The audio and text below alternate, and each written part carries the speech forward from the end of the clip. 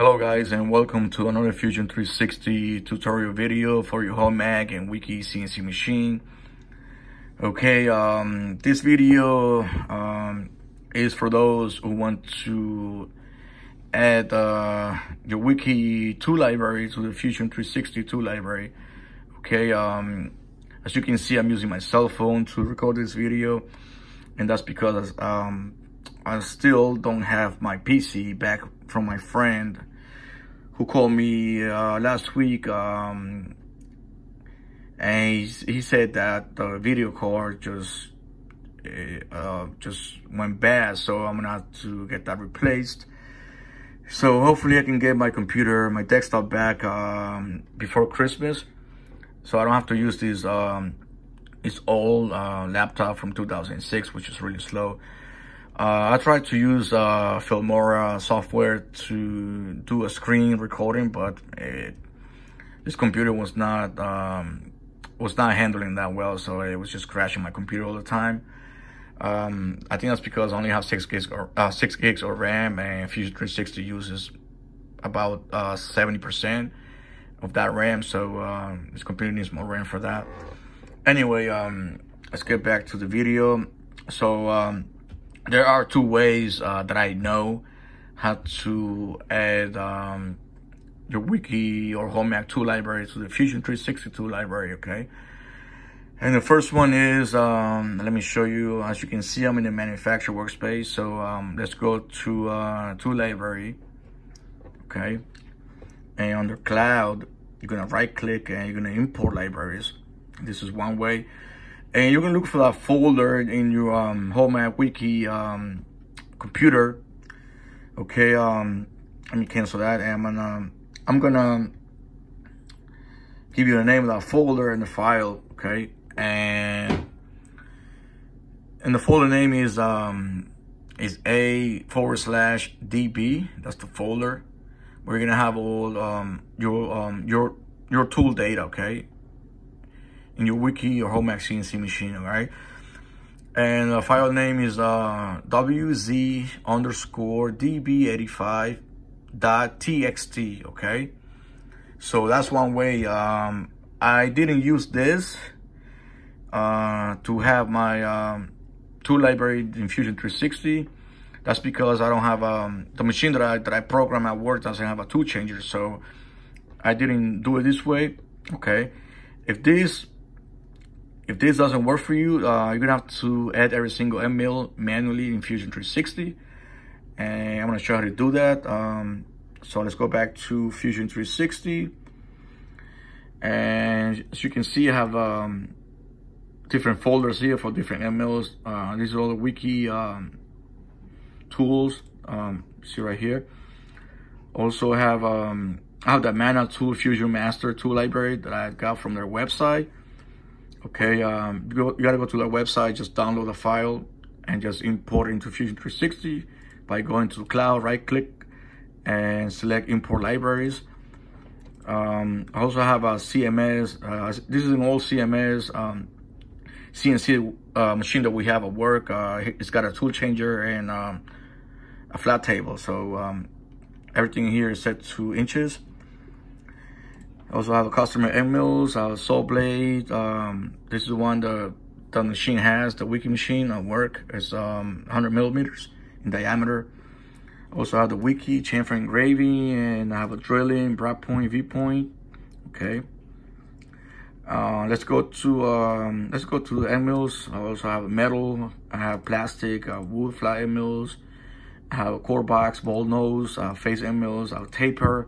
Okay. I built this um, over time, okay? I do this manually, all right? Um, let's go to this uh, Weeke CNC plastic.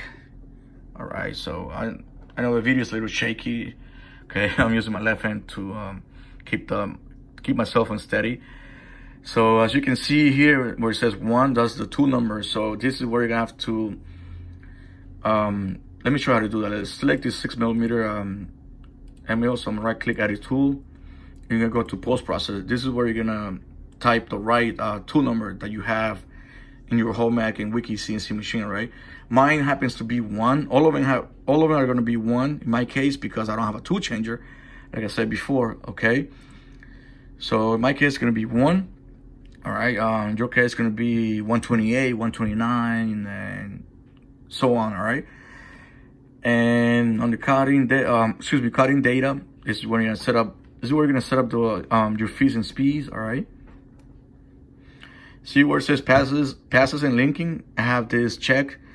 I have um, I have my own step down and step over for every single end mill that I have in my Fusion 360 tool library for my Weeke machine. Okay, I'm gonna make a separate video how to do this uh, using expressions. Okay. Um, let's go to um, uh, holder. This is the one that I'm using. You can use whatever you want. Uh, shaft. I don't have anything here. Uh, on the cutter.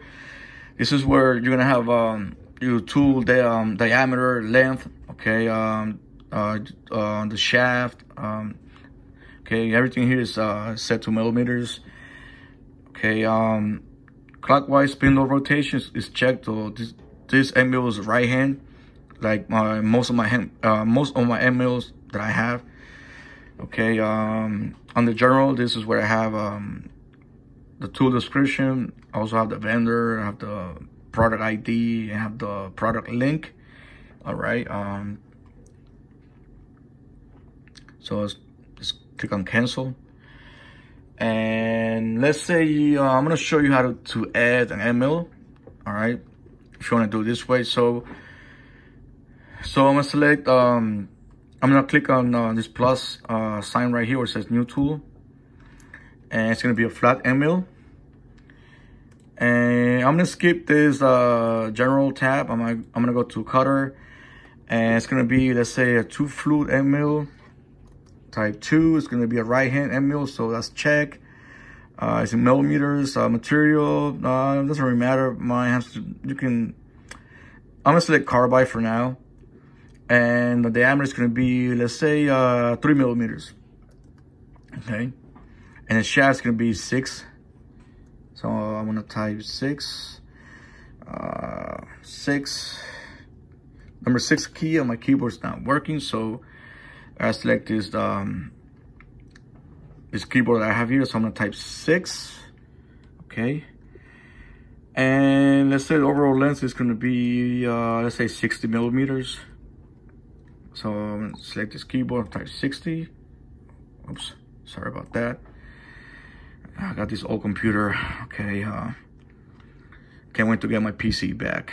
All right, so um, and where it says length below um, gonna be 50. Shoulder length is gonna be let's say um, say uh, 40 millimeters. I'm gonna type four zero. And the tool length is gonna be um, let's say 25 millimeters. You know what? Let's, let's, leave it at 20 Okay, um, and I'm gonna go, I'm gonna skip shaft, I'm gonna go to holder, and you can select the holder right here. So um, I'm gonna select the metric holder, got this arrow, and I'll select this holder right here. Let me go back, let me go all the way down. Let me select this, select this holder. There you go, okay. Next step is gonna be cutting data and this is where you're gonna set your spindle speed, feed rate. So uh, let's make this 10,000 RPM. Okay. Okay, 10,000. Sorry about that, guys. It's hard for me to see my keyboard. Uh, ramp, uh, you can, it's gonna be the same as, as the tool spindle speed, so it's be 10,000 RPM.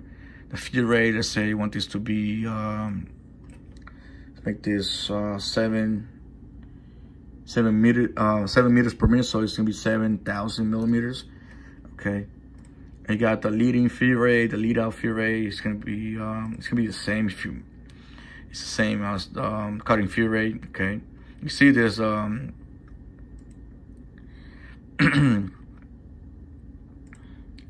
see there's a formula here okay so you can it's the same as the um, cutting feed rate okay you can change this if you want. So I'm gonna type, say I want the leading uh, the leading feed rate to be uh, one meter per minute. So I'm gonna type one thousand. Okay. and it's gonna be 1000 here as well okay plunge plunge feed rate uh, I'm gonna type uh, 500 millimeters you know what makes let's make this uh, 400 since the number five uh, keyboard doesn't work on my um, computer so I'm gonna type 400 millimeters and that's it okay? Next uh, is the post processor uh, let's say this one happens to be to number 128 so I'm gonna type 128 okay? And I have tool diameter offset so I'm gonna I'm gonna type zero tool length offset zero. Okay. And uh, live tool this is for um, this is for lathe so I'm gonna check that. You could put a comment here if you want okay? So I'm gonna click on uh, click on accept. There's my new end mill so it happens to be 128 okay? Let's say you wanna wanna use the same um you want to add another end mill that has the same diameter the same length but it happens to be a left uh, hand end mill so what I'm gonna do is uh, I'm gonna right click and I'm gonna select uh, duplicate tool. I'm gonna select that tool, right click, edit tool, and under cutter, I'm gonna check uh, clockwise spindle rotation. And the tool number is gonna be under post processor, I'm gonna type 129, okay? And I'm gonna hit accept, and that's it. That's that, that's how you do it. Um, this is how I did it, okay? Again, um, if um, method one doesn't work, uh, you can use this. I know it takes longer, all right? But uh, the first one I didn't use, like I said before, um, the machine doesn't have a tool changer, so I did it this way, all right? This is how I did it. Okay, guys, um, let's, um, let's select, um, let me see if I can let me look for this program. Let me render stuff. Let me select this base plate um, model I have here. I already programmed this. Let me see, it takes a while to open up. The computer's really slow, guys. Sorry about that. Uh, okay, and there it is. So let's say I want to use those mills, okay, um, to machine these um, these notches here. Okay, this is just an example, right? So I know um, um, that's not the right right end mill for this. Um, you gotta use a uh, you gotta use something bigger. That's a bigger diameter. Okay. Um, let's select setup. Right click, and actually let's let's go into 2D contour. You know what? Actually, I'm gonna cancel this, and I'm just gonna select this uh, 2D contour operation. I'm gonna right click. I'm gonna go to edit. And I'm gonna select uh, one of those tools that, that I just created for you guys. And let's go to the Weeke CNC Plastic. And I'm gonna select uh, 128. Okay. And mill. So I'm gonna select that. Click OK. Okay, it's taking a while. And there you go. See, I have so many step downs. That's fine. So, and I'm gonna post process this program, and we're gonna open it up in woodWOP. All right. So I'm gonna right click, post process.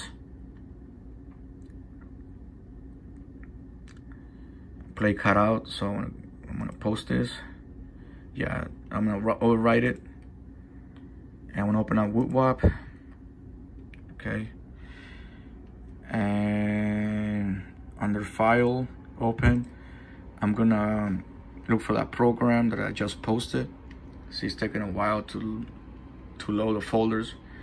On the random folder, there's a play cutout program right there. You see it? So I'm gonna open it up in woodWOP 5.0. That's what I have. And select C. You see the two um, the two um, trimming um, macros or routing macros. See, there's a tool number 128. You see the speed, 10,000 RPM, uh, 7 meters per minute. Okay, that's how you do it. Right, guys? So, um, that's it for this video, guys. I know it's a little shaky, the video. Uh, my left hand is a little tired right now. Uh, so I switched to my right hand um, to hold the cell phone. So that's it for this video, guys. I hope you found this video helpful and don't forget to like, comment, and subscribe.